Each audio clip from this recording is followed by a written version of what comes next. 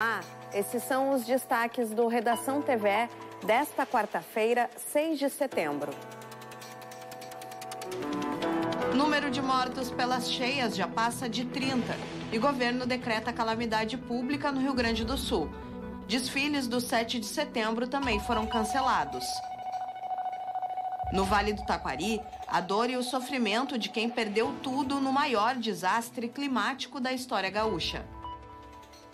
União, Estado e Prefeitura somam esforços no apoio às vítimas da tragédia.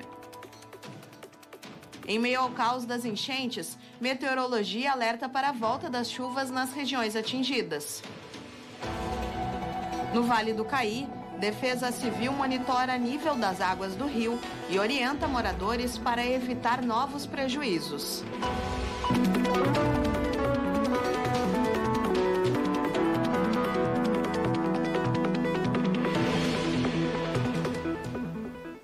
Cenário de destruição. Os temporais que devastaram o Rio Grande do Sul no início da semana atingiram 67 municípios e deixaram milhares de desabrigados. Por conta das chuvas e das enchentes, 31 mortes foram confirmadas até agora. O governo do estado decretou o estado de calamidade pública e suspendeu os desfiles gaúchos do 7 de setembro para concentrar os esforços das forças de segurança nas ações de resgate e auxílio. No Vale do Taquari, muitas cidades ainda estão incomunicáveis, sem luz, água e internet. A nossa reportagem foi até Lajeado, uma das cidades mais atingidas, para mostrar para você o alcance desse fenômeno climático tão terrível. O Parque da Integração em Lajeado virou o ponto de referência das ações de resgate para toda a região. A cada descida dos helicópteros, a expectativa, já que hoje ainda havia famílias ilhadas. Uma enchente onde não bastou caminhão, não bastou barco, a gente teve que fazer socorro das aeronaves e seguem trabalhando, seguem fazendo resgate.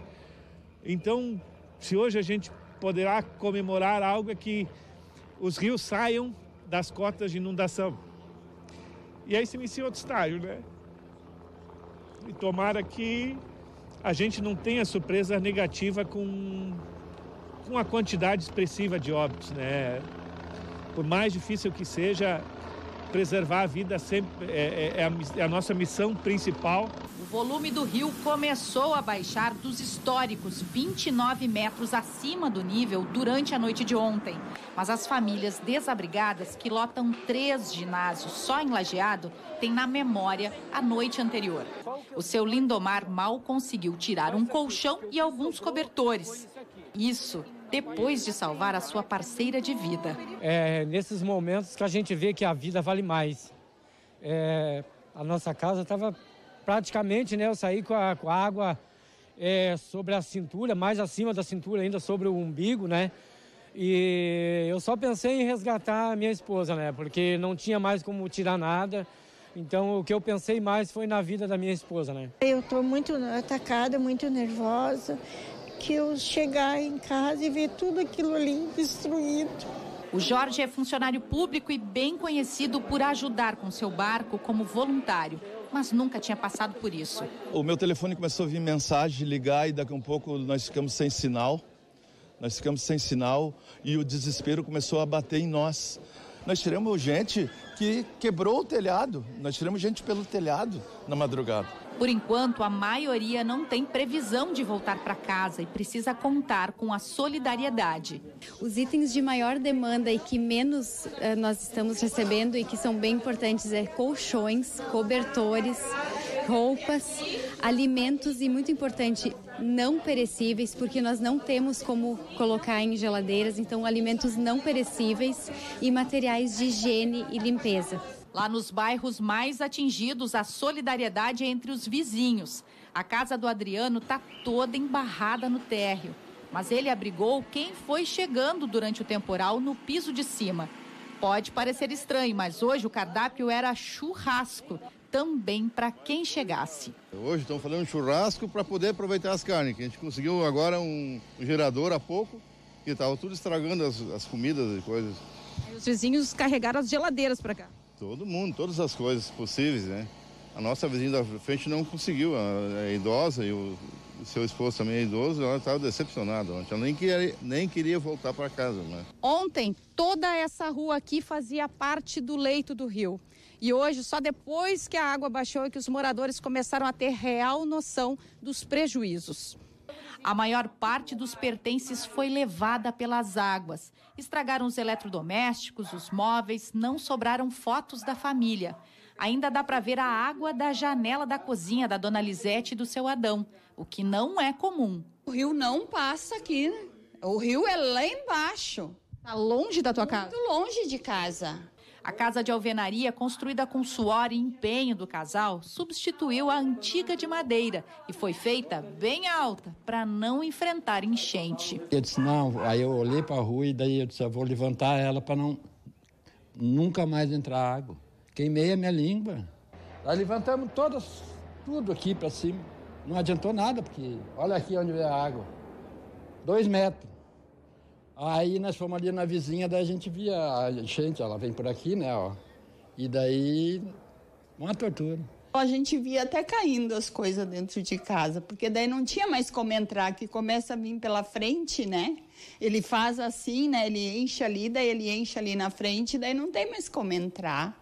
A senhora acabou ficando assistindo tudo acontecendo. Assistindo acontecer, lá de cima da vizinha. A família da dona Lúcia agora só olha de longe o antigo lar. Eu não tenho mais casa, ela está condenada.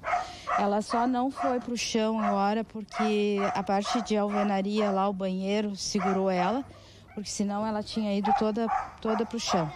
É, a gente tá perdemos todas as coisas que a gente tinha dentro de casa. Eu tô só com essa roupa aqui, que eu saí de dentro de casa, né? E a gente está vivo, né? Quantas pessoas por aí perderam a vida, a gente está vivo. Difícil, né? Mas também é importante manter essa serenidade, né? Da importância das vidas. E também lajeado, as comitivas do governo do estado e do governo federal garantiram hoje recursos para minimizar os prejuízos e para dar toda a assistência nos salvamentos. O grupo sobrevoou as áreas dos municípios de Santa Teresa, Mussum, Roca Salles, Encantado, Arroio do Meio, Estrela e desembarcou em Lajeado. O relato foi de um cenário de guerra após o maior desastre natural dos últimos anos no estado. Não foram uh, comunidades ribeirinhas apenas atingidas, né? cidades inteiras que ficaram completamente comprometidas. E, infelizmente, né, pelo quadro que se observa, pela situação que nós temos, a gente imagina que outros óbitos venham a ser confirmados uh, aí no, ao longo das próximas horas. Então, nosso foco está como eu sempre disse, né, resgate as pessoas. Né? É mais uma vez importante né, salientar as pessoas sobre esse evento climático que ainda está né, assim gerando seus efeitos. Né? As chuvas pararam, mas os efeitos ainda continuam porque foi um volume muito grande de chuva e um conjunto de bacias hidrográficas que acabam convergindo para essas que estão sendo mais afetadas agora. Os ministros que também fizeram o sobrevoo reafirmaram o apoio do governo federal a começar pelos resgates de vítimas isoladas. Deslocamos botes do exército que estavam lá em São Gabriel, no batalhão de engenharia, que chegaram ontem lá a Encantado, Roca Salles, Mussum, para ajudar no resgate e na identificação de áreas onde os helicópteros não conseguiam chegar. Agora pela manhã nós conversamos com o ministro Múcio no sentido de viabilizar, a pedido do governador e das equipes da Defesa Civil do Estado, mais aeronaves. Nesse momento, os helicópteros, as aeronaves pequenas, são o que nós temos de mais importante. Então, nesse momento, salvar vidas, garantir abrigo, água potável, alimentação, segurança para as pessoas. Além da força-tarefa unindo Estado, municípios e a União, o ministro da Integração e Desenvolvimento Regional garantiu recursos, inclusive com a possibilidade de uma nova medida provisória, a exemplo dos ciclones de junho deste ano, quando foram disponibilizados 280 milhões de reais. O problema não é falta de recursos, tem recurso humano, tem recurso material, tem equipamentos, né? E também, conforme o que o Pimenta disse, ajuda humanitária, que é o primeiro, é o socorro, é a comida, é o remédio, é a roupa para quem precisa, o que precisar. Depois, restabelecimento, que é limpeza, desobstrução e as reconstruções tudo que for casa de, é, que foi danificada, patrimônio público né, e casa, o governo federal pode apoiar e apoiar muito. E se for necessário editar uma nova medida provisória, nós estamos aqui, eu e Pimenta, estamos com a companhia também do coordenador da, da, da, Conab, da Conab, né, do Ministério do Desenvolvimento Social, representando o Hélio Dia, estamos aqui para dizer, olha, Eduardo, prefeitos, também, se for necessário, mais uma medida provisória, sim, assim será feito. Agora, o que a gente precisa? Manter essa união. Município de Roca Salles foi o mais atingido pelas cheias no Vale do Taquari. Sete mortos foram confirmados até agora na localidade. O sistema de comunicação também foi fortemente atingido. Nós vamos conversar por telefone com o prefeito Hamilton Fontana para saber como está a situação por lá neste momento. É, prefeito, as notícias que a gente recebe, né, são de muita destruição. Ela está realmente generalizada por toda a cidade ou tem focos, né, áreas mais atingidas. É, desde já, o nosso muito obrigada né, pelo senhor nos atender nesse momento que a gente sabe que é tão duro né, e de difícil comunicação. Bem-vindo aqui ao Redação TVE. Eu que agradeço a oportunidade aí da gente poder é, divulgar aí o que está acontecendo aqui no nosso município.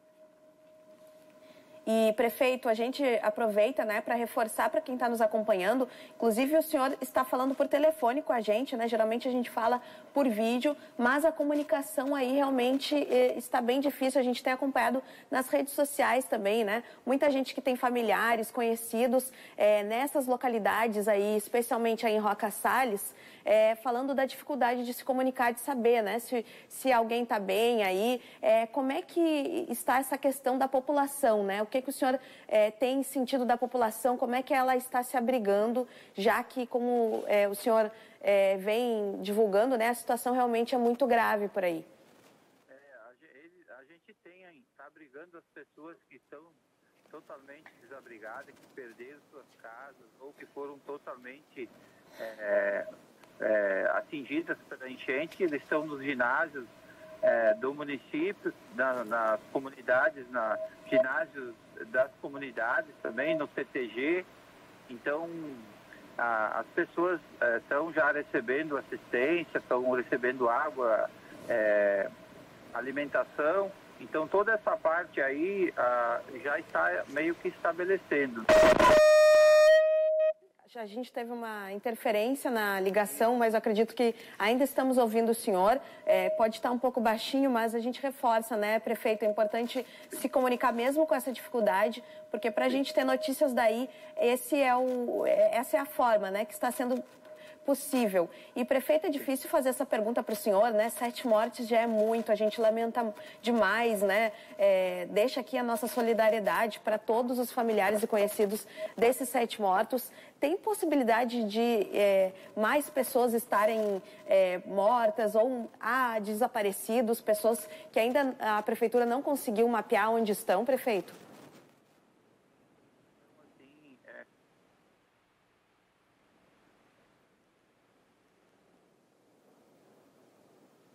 Informação aqui oficial de nove óbitos, né? Que foram já.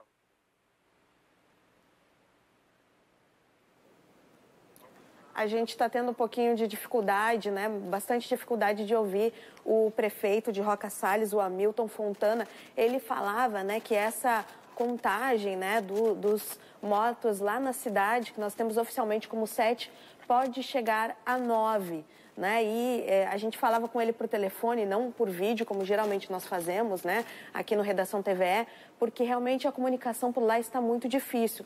Devido a isso também, a gente teve esse problema no sinal, né? Nós tivemos uma interferência, agora não estamos mais ouvindo o prefeito, antes já estava um pouco baixo. A gente vai tentar retomar esse contato, se não nessa edição, numa próxima do Redação TVE, para trazer mais informações aí é, de Roca Salles, né? Que é, vamos ver se a gente retoma agora, prefeito. A gente teve uma interrupção no sinal. O senhor estava falando sobre a contagem de mortos que, infelizmente, aí, de acordo com a Defesa Civil local, é, deve aumentar para nove, né? De sete, que é a informação que eu dei aqui, pode aumentar para nove. É isso mesmo?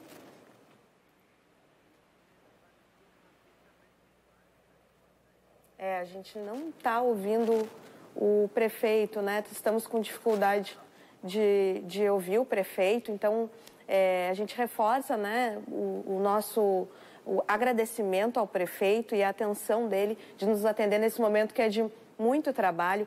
E agora a gente vai é, falar sobre o Vale do Caí, que depois de chegar à marca de 13 metros e 88 centímetros, o rio está estabilizado e voltando ao leito mas a Defesa Civil segue monitorando o nível das águas. Em São Sebastião do Caí, a inundação foi bem menor que a de julho, mas mesmo assim, a cheia provocou prejuízo e mudança na rotina dos moradores. A rua Oswaldo Aranha, no bairro Vila Rica, fica a 2,5 km e meio do rio Caí. Mas assim que a previsão indica mais de 70 milímetros de chuva, a Ivânia, que tem comércio no local há 22 anos, já sabe. Essa vez veio até essa altura aqui. Mas em 2011 a gente pegou até a altura da janela aqui, nesse segundo friso aqui. Dando a metragem do rio, a gente já sabe o quanto de água nós vamos ter aqui na avenida. E a gente acompanha por Feliz também, que daí a metragem que dá na Feliz, a gente também já tem uma noção do que vai dar aqui. Então a gente sempre recolhe. Essa foi a única vez nos 22 anos que eu não tirei a minha mercadoria de dentro da loja.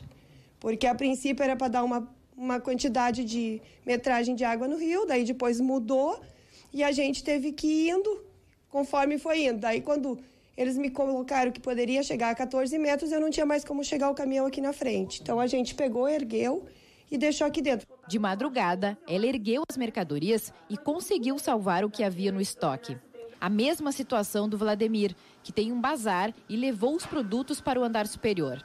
Na terça-feira à tardinha, a água começou a baixar e hoje foi dia de limpeza. Quando a água começou a baixar aqui, a gente entrou aqui para dentro já para tirar o principal, né? O barro que fica todo. É... Olha, não é nada fácil, porque tu pode ver aí como é que tá as coisas. A gente tem que erguer tudo a gente perde de assim muito serviço, a gente não, não ganha nada, tem que pagar funcionário, tem que, tem que assim e não e, e sem conseguir ganhar nada, né? Agora até que a gente consiga trabalhar de novo, isso vai uns dois, três dias e ainda tem previsão de mais enchentes aqui, né? Esse, esse é o pior ainda de tudo. Na enchente de 2011, a água do rio chegou a 14 metros e 85 e muita gente perdeu tudo. Por isso, as construções de dois andares se multiplicaram. Seu Leopoldo e a esposa levam tudo para o segundo andar. Há quase 30 anos, conhecem os movimentos do rio. Pela manhã, enquanto o neto brincava no bote improvisado, ele começou a limpeza do térreo, mesmo com a água ainda pertinho da porta. Mesmo que a gente já está acostumado aqui tantos anos, né, que vem a água aqui, mas sempre é complicado, como está vendo aí agora a sujeira que dá, a gente está na limpeza agora. Mas é muito complicado, porque a água quando vem aqui vem grande, né? São Sebastião do Caí vive frequentemente as consequências das chuvas torrenciais. A situação agora é de alerta, porque embora o rio Caí tenha baixado mais de um metro nas últimas 13 horas, ele ainda está na cota de inundação, que é a partir dos 10 metros. A última medição mostra que ele está em 12 metros e 50. A gente chegou ao, ao nível de 13 metros e 88 na tarde de ontem, quando ele estabilizou e começou a baixar o nível de elevação. Uh, com isso, as pessoas têm a possibilidade de começar a limpeza das suas residências, né? E a prefeitura, através da Secretaria de Obras e Defesa Civil, com voluntários, fazendo a limpeza das vias, né? Através de caminhões, máquinas, enfim, possibilitando tanto o trânsito quanto as pessoas né, acessarem as suas residências com segurança e higiene. Né? No bairro Navegantes, a limpeza é geral. Em algumas ruas, acesso só de barco, mas nas casas onde a água já cedeu, os moradores reiniciam mais uma vez. Agora vai fazer o quê? Tem que ir lavando, limpando, tirando o barro da, né, da parte de baixo. Mas não é a vida da gente, é isso. Quem mora aqui na enchente é isso, né? A Defesa Civil pede doações para auxiliar a população. Elas podem ser entregues no Centro Social Egon Schneck, junto à Secretaria de Obras. Hoje a nossa demanda aqui, nós estamos necessitando muito da questão de produtos de limpeza, de higiene, né? E posteriormente, quando as famílias começarem a retornar para suas residências, também um kit de alimentação, uma sacola, uma cesta básica a gente fornece. E a gente tem uma atualização no número de mortes em decorrência né, das chuvas aqui no estado. Já são 36 pessoas que morreram é, durante né, todo esse fenômeno, em decorrência desse fenômeno. A gente começou a edição do Redação falando em 31 mortes e atualiza, infelizmente, aumentando né, para 36. E diante de tantas perdas, o apoio de todos é muito importante. Por isso, a Defesa Civil, o Estado e as prefeituras estão intensificando os pedidos de cestas básicas e água potável, kits de higiene e limpeza e roupas de cama e agasalhos. Em todo o estado, é possível fazer qualquer doação nos postos de coleta da campanha do agasalho, nos quartéis da Brigada e dos Bombeiros, nas prefeituras, nas agências do Banrisul, nos supermercados Zafari e Bourbon, nas unidades do SESC e também no acampamento Farroupilha, aqui em Porto Alegre, na Casa do Gaúcho. E a gente segue tentando entender né, esse fenômeno climático que causou trégua nesse verdadeiro mau tempo que vem assolando aqui o território gaúcho. A gente conversa agora com o Marcelo Schneider, que é meteorologista do Instituto Nacional de Meteorologia e fala aqui do tempo do Rio Grande do Sul, né? É, Marcelo, a gente acompanhou aí, né, tantos danos trazidos é, trazidos pela chuva, né? É, qual é a previsão para os próximos dias? A gente vai ter instabilidade, mas qual é o nível assim de chuva? Vão ser altos volumes que realmente reforçam a preocupação? Bem-vindo aqui ao Redação TVE. Ah, obrigado pelo convite, Fernanda. Bom, uh, pessoal do, da TVE e todo o Rio Grande do Sul, a gente tem que ficar mais atento em duas regiões em particulares. Dessa vez, os maiores volumes de chuva devem ficar concentrados mais para para a zona sul oeste do estado, principalmente em direção à fronteira. Lá sim tem um aviso vigente já para a noite dessa quarta-feira e ao longo da quinta-feira, das sete feriados, com os volumes de chuva que devem se aproximar ou até mesmo superar em algumas áreas sem limite. Então essa área de fronteira tem uma grande preocupação em relação a essa chuva volumosa, temporais, que podem até vir com algum granizo e também vento forte. Em particular, essa região mais atingida da metade norte, que inclui é, essa região do Alto Taquari, região de Passo Fundo, Alto Serafina, é, Roca Salles, as chuvas vão ser bem menos volumosas, mas há preocupação em relação aos volumes que se aproximam ou superam 50 milímetros. Em média, esse mais ou menos o valor que a gente está trabalhando, 50 a 70 milímetros de acumulado entre esta quinta e o início da sexta-feira. Para essa região da metade norte, a expectativa é de que as chuvas comecem mais para a madrugada, ou no início da manhã da quinta-feira, mas que principalmente da tarde para o final da noite, uma frente fria cruzando o estado. Então, essa região mais atingida do norte do Rio Grande do Sul tem a maior cautela. A gente também tem uma preocupação com algumas áreas oeste noroeste, e inclui também a metade norte, em relação aos ventos, porque na passagem dessa frente fria, além da chance de granizo, é provável que os ventos possam até passar de 70 km por hora. Então, o resumo seria esse: as chuvas mais volumosas, concentram principalmente na metade sul e oeste do estado, e essa passagem de instabilidade mais intensa, é, com acumulado significativo, mesmo que curto, bem menos volumoso que no evento anterior, fica ali para essa parte da quinta-feira da tarde para a noite, nessa metade mais norte do Rio Grande do Sul. Importante esse alerta, né, Marcelo, que você traz, sobretudo ali para a região da fronteira, né? Porque a gente sabe que essa combinação de chuva e vento é, em outros momentos aqui, né, do ano, já foi bem preocupante aqui para os gaúchos. Aqui em Porto Alegre também o prefeito manifestou preocupação com as populações ribeirinhas, né? Então, é, possivelmente, a partir desses dados, a gente pode é, presumir é, que uh, deve, né, a gente deve ter uma, um afastamento ou que as pessoas é, fiquem em alerta quem vive nessas regiões ribeirinhas ou que já sabem que pode haver a chance de alagamento. Sim, todas as áreas mais vulneráveis aqui do estado do Rio Grande do Sul, seja nessas bacias onde a população mais ribeirinha vive em áreas baixas, né?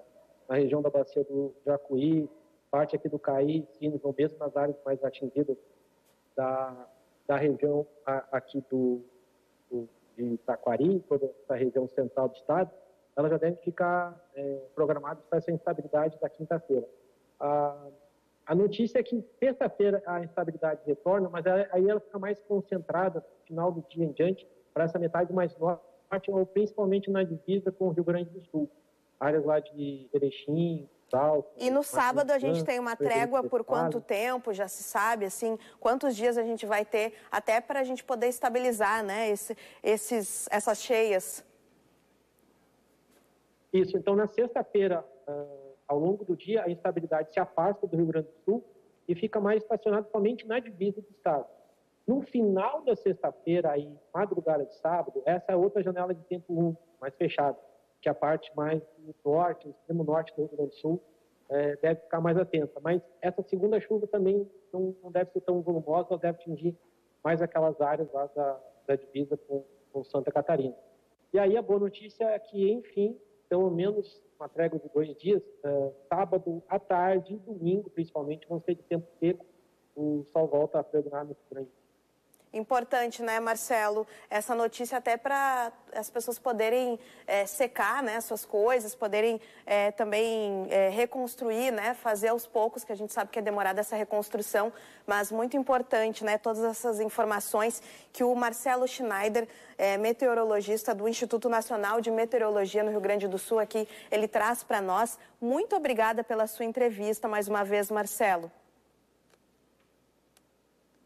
Eu te agradeço o convite e o pessoal pode ficar ligado nas informações do INET, seja nas redes sociais, Twitter, Facebook, Instagram, e também no nosso portal do INET, onde são atualizados os avisos meteorológicos para a população em geral e também sempre alinhados com a Defesa Civil, tanto a nacional como a nossa Defesa Civil do Estado. Com certeza, né? Importantíssimas essas informações, ainda mais nesse momento. E a gente vai conferir agora como é que ficam as temperaturas, então, aqui no estado.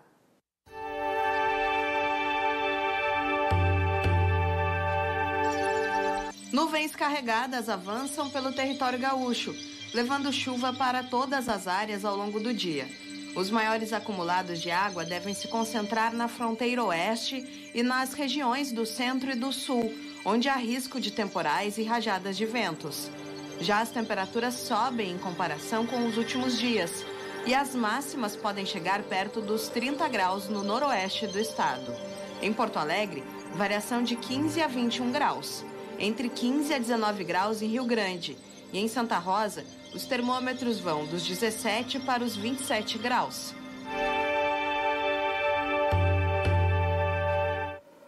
E com a previsão de novas chuvas e o aumento do nível das águas do Guaíba e delta do Jacuí, a Defesa Civil de Porto Alegre emitiu alerta para a possibilidade de inundações nas regiões ribeirinhas da capital, especialmente no bairro Arquipélago e na Zona Sul. Por isso, a Prefeitura informou que está fortalecendo as estruturas de acolhimento à população dessas áreas. O prefeito Sebastião Melo também anunciou a cerimônia de anunciou que a cerimônia de acendimento da chama crioula no acampamento Farroupilha, que estava prevista para amanhã, foi adiada para domingo ao meio-dia. E a gente aproveita o nosso espaço aqui para se somar na campanha de arrecadação do Estado e reforçar que quem puder faça doações. De qualquer lugar do Estado é possível contribuir e a sua ajuda vai fazer toda a diferença para quem está enfrentando esse que é um dos momentos mais terríveis da vida. Na sequência, tem as notícias nacionais do Repórter Brasil. Se cuide.